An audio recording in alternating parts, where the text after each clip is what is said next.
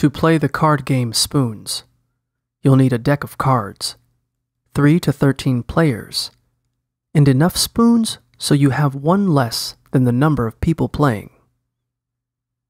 The goal of the game is to be the last player left. If you end up without a spoon, you're out. To set up the game, sit in a circle and place the spoons in the middle of the playing area.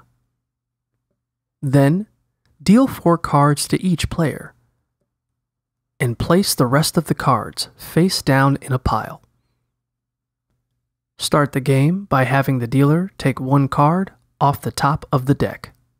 The dealer places that card in their hand, then passes one of the other cards in their hand to the player on their left. That player then passes one of their cards to the player on their left. This continues around the circle, with the dealer continuing to draw cards from the pile and the last player in the circle placing their cards in a discard pile. As you're passing cards along, try to get four of a kind.